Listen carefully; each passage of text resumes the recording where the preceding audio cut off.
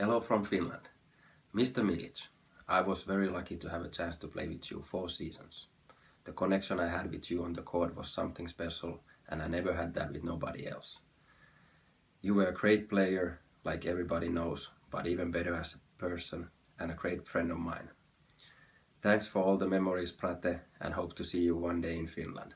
Aide, ciao.